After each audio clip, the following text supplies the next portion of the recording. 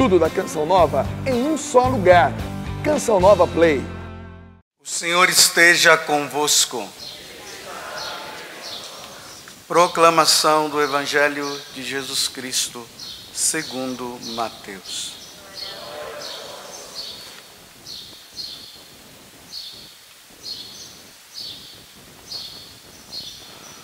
Naquele tempo, ao saber que João tinha sido preso, Jesus voltou para a Galileia. Deixou Nazaré e foi morar em Cafarnaum, que fica às margens do mar da Galileia, no território de Zabulon e Neftali, para se cumprir o que foi dito pelo profeta Isaías. Terra de Zabulon, terra de Neftali, caminho do mar, região do outro lado do rio Jordão, Galileia dos pagãos. O povo que vivia nas trevas viu uma grande luz. E para os que viviam na região escura da morte, brilhou uma luz. Daí em diante, Jesus começou a pregar, dizendo: Convertei-vos porque o reino dos céus está próximo. Jesus andava por toda a Galileia, ensinando em suas sinagogas, pregando o evangelho do reino e curando todo tipo de doença e enfermidade do povo. E sua fama espalhou-se por toda a Síria. Levavam-lhe todos os doentes que sofriam diversas enfermidades e tormentos endemoniados, epilépticos e paralíticos, e Jesus os curava. Numerosas multidões os seguiam, vindas da Galiléia, da Decápole, de Jerusalém, da Judéia e da região além do Jordão. Palavra da salvação.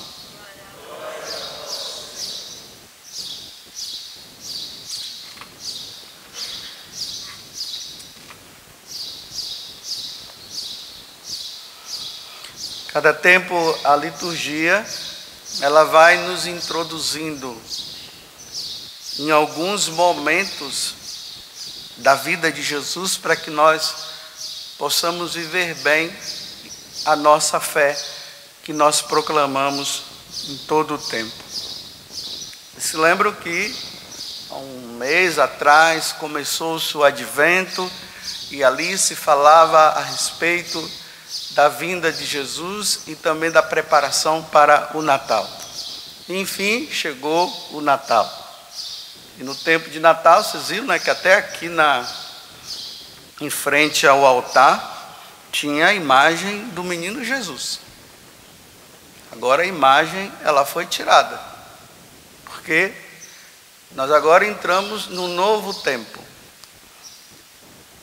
Precisamos entender o momento que nós estamos agora, para que nós possamos viver esses últimos oito dias, porque no sábado, no, no próximo domingo, vai ser o batismo do Senhor, e depois nós vamos entrar no tempo comum de novo.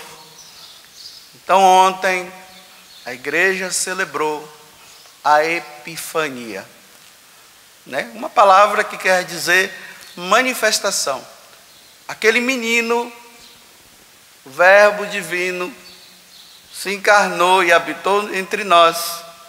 Aquele menino que nós olhamos e vemos nele apenas um menino, não é um menino, é o Salvador do mundo. É aquele que João, no prólogo, no primeiro capítulo do Evangelho de São João, ele vai dizer, né? Tudo foi criado por ele e para Ele. E nada foi feito sem Ele. Então, um menino, mas é Deus. É uma criança frágil, mas é o Todo-Poderoso. E ontem foi marcado com essa manifestação. Ele agora se manifesta a quem? A três reis magos, pagãos Quem não era judeu era chamado de pagão. Quem é o pagão? É aquele que não adora o Deus verdadeiro. E como Jesus ele veio para salvar todos, o Pai me enviou para que todos se salvem, para que ninguém se perca. Ele se manifesta agora esses três reis magos, mostrando para todos nós que os pagãos, não é somente os judeus, precisam também de salvação.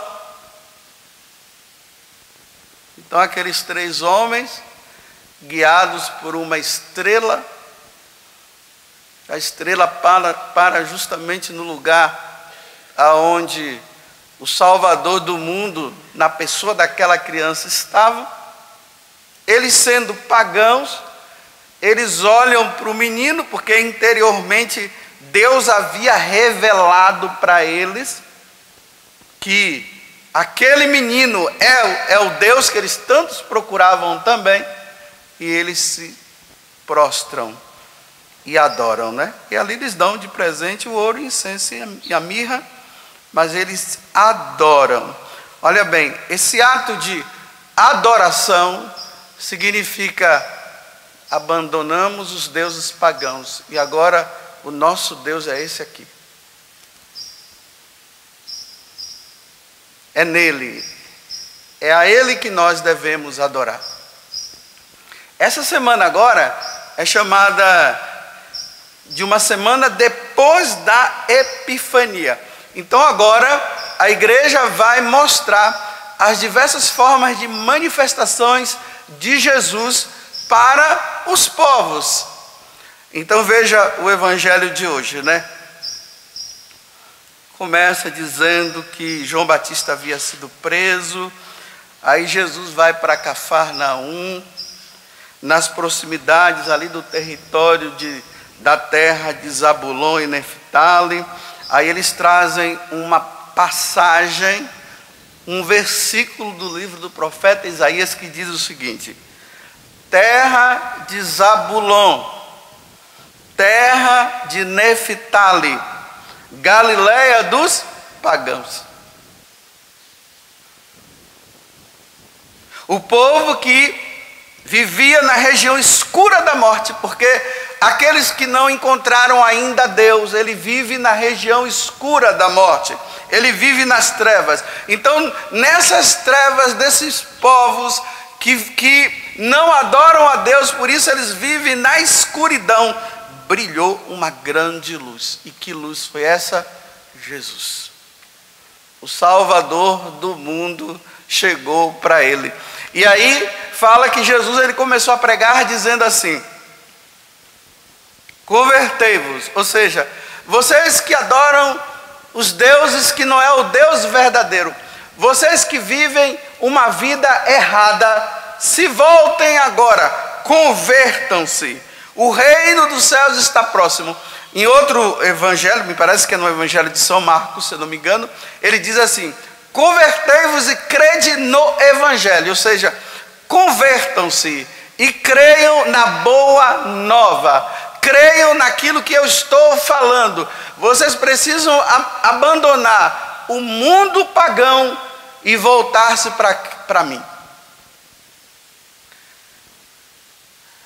Só que eu vou falar de uma forma diferente hoje.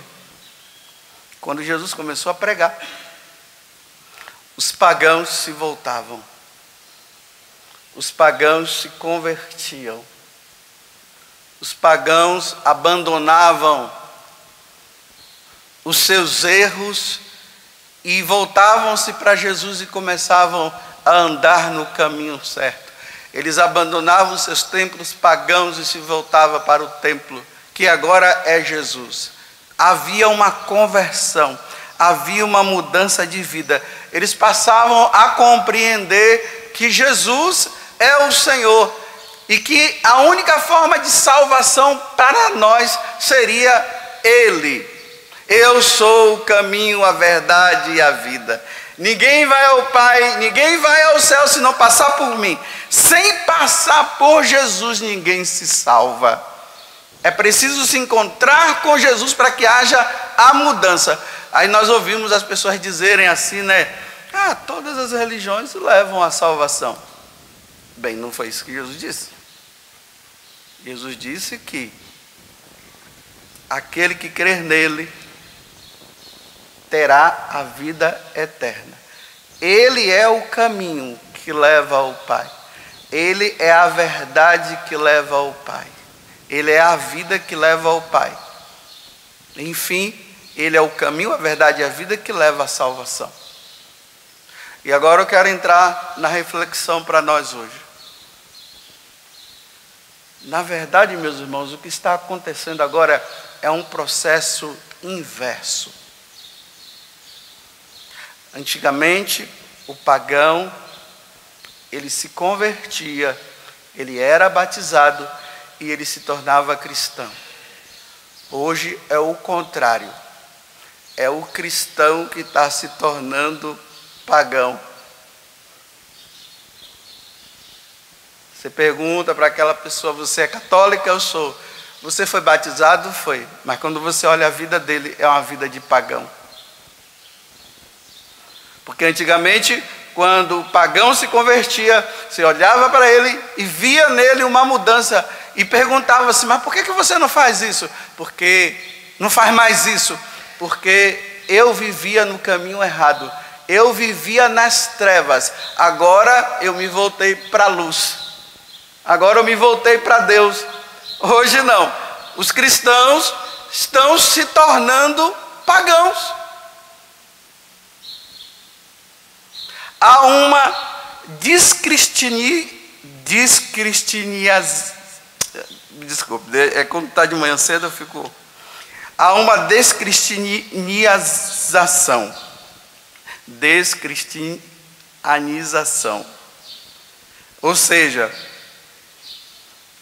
os cristãos abandonam o cristianismo.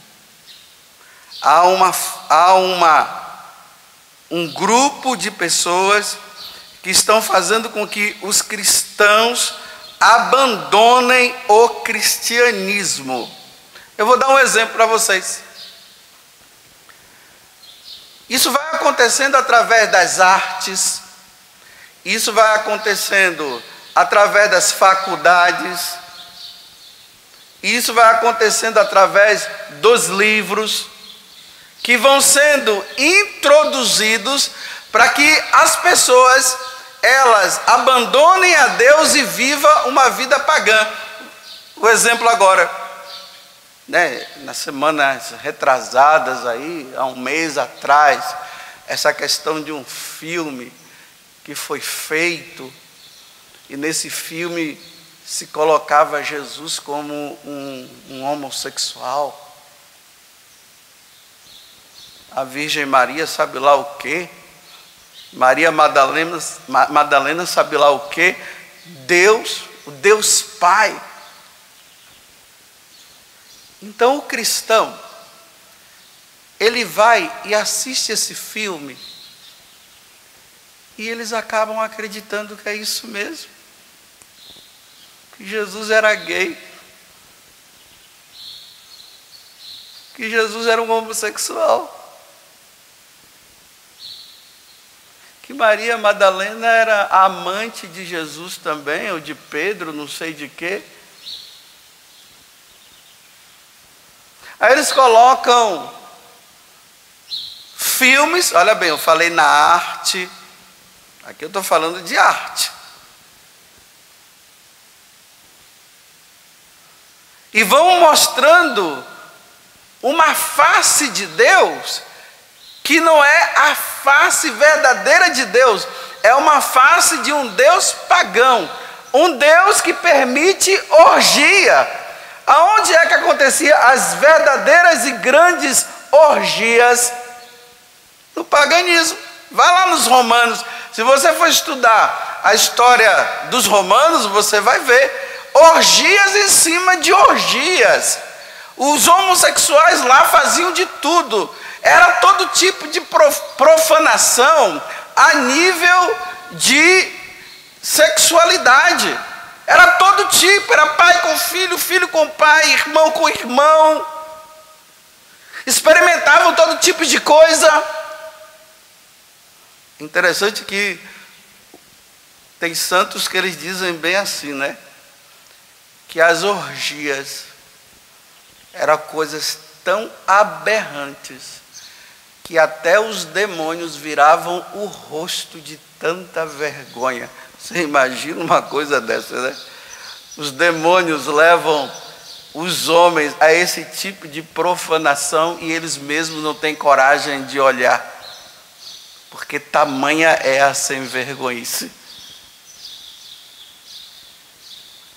Não seria, entre aspas, não seria bom um cristianismo assim que se permite tudo? Você pode fazer o que você quiser. Para muitos, assim. Deveria ser assim. Então, eles vão fazendo com que os cristãos, aos poucos, eles, eles possam trazer isso para dentro do coração e entender como normal. É ou não é verdade que tem muitos cristãos por aí que dizem que é normal? O que importa é que eles se amam dentro de quatro paredes, você pode fazer o que você quiser, o que é que tem? Ela não é sua esposa?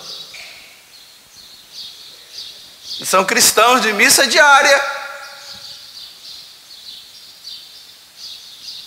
São cristãos que dizem que rezam o texto.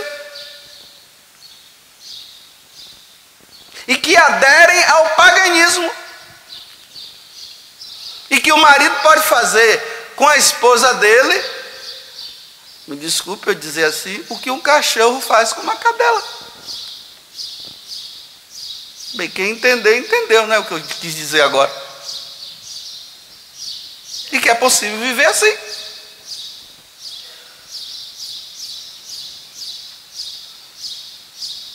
Você vê que a questão desse tal filme não é simplesmente ah, que Jesus era um homossexual. É fazer com que os cristãos aceitem isso e achem que isso é normal. Essa banalização da vida cristã. Então eles atacam a quem? Eles atacam a Deus, mostrando um Deus que não é o Deus para as pessoas entenderem que é Deus é assim, porque Deus é amor, Deus é misericórdia, Deus é perdão e Deus não vai levar em conta isso. O que importa é que eu adoro Jesus. Agora, ver Jesus dessa forma, tá vendo? É uma forma de evangelização, né? Você evangeliza paganizando os cristãos e os cristãos vão se tornando pagãos. Repito, antigamente o evangelho era para trazer os pagãos para o cristianismo.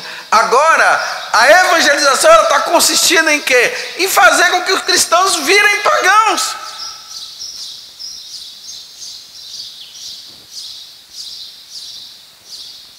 E está assim. Tudo é normal. Não tem problema. O que importa é que você adore Jesus, mas a mudança de vida não precisa acontecer. Você só precisa adorar a Jesus. O resto. E as profanações elas vão acontecendo e tudo vai ficando normal. Não há diferença. Você olha um cristão e você olha uma pessoa que se diz ateia e que não quer saber de Deus, não há diferença, não tem mais diferença. Antigamente tinha, hoje não se tem mais. Até mesmo dentro da igreja não há diferença. A forma de se vestir, as conversas, as brincadeiras. Olha, a, esse pecado contra o segundo mandamento, né? Não falar o nome de Deus em vão, né? Você coloca um grupo de cristãos unidos com pessoas que não são da igreja, não são nada, aí eles começam a profanar o nome de Deus e os cristãos ficam dando risada com as piadinhas, banalizando a igreja, banalizando os santos, banalizando a, a Eucaristia, e, e, os cristãos estão lá tudo dando risada. Nossa, essa foi boa, essa foi boa. Não, essa foi ruim. Porque falou mal de Deus. Porque brincou com o nome de Deus.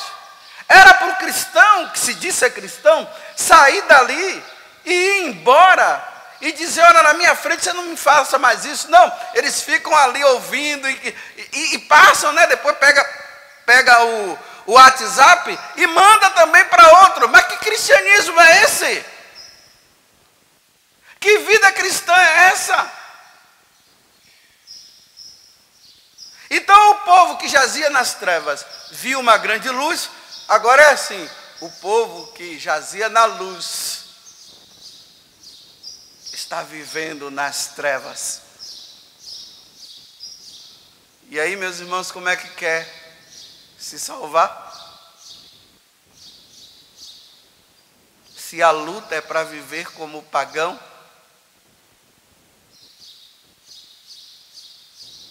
Se os jovens de hoje vão para a faculdade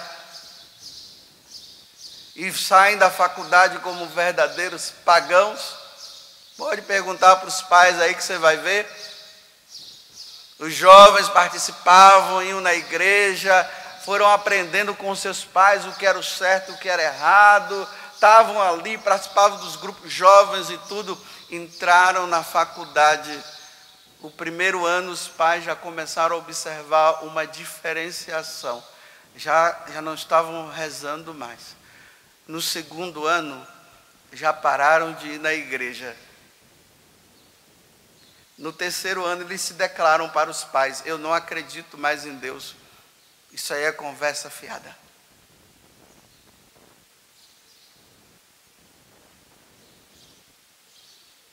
Aí não querem mais saber. É ou não é verdade o que eu estou dizendo? Isso tudo é natural. Tudo é natural hoje. Minha filha, por que, que você não reza mais? Ah, mas ela precisa estudar. A senhora não estuda. É porque a senhora não sabe o que aconteceu na Idade Média, a Inquisição. Aí começa a falar que a igreja matou um monte de gente. Aí começa, né? Não sabe o que é a Inquisição, não entra no contexto, não estuda a, igreja, a, a doutrina para saber o que significa, não. Ficam apenas naquilo, porque os professores são grandes doutrinadores. Eles estão catequizando os nossos filhos para não, para abandonar Deus, porque eles já abandonaram. Então eles fazem isso. E essa é uma grande verdade.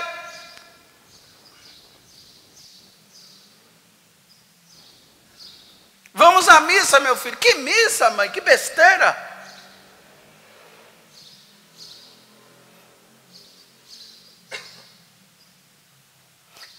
Ok, acabou o tempo. Que Deus nos conceda a graça de que a manifestação de Jesus seja justamente para que os nossos corações mudem e nos voltemos para Deus e encontremos a salvação que vem dele. Porque senão, meus irmãos, é triste a gente ouvir pessoas, quando a gente fala a verdade, elas chegam e dizem assim, olha, então está perdido, está todo mundo perdido. Aí eu digo, não, nem todo mundo, tem muita gente que está seguindo o caminho certo, mas que uma grande maioria se perde cada dia. Se isso é verdade joelhos no chão, oração. Peçamos a Deus a graça que haja verdadeiramente uma mudança de vida. Porque eu termino dizendo assim: que os cristãos estão vivendo como pagão. E era para os cristãos viverem como cristão. Tudo da Canção Nova em um só lugar Canção Nova Play.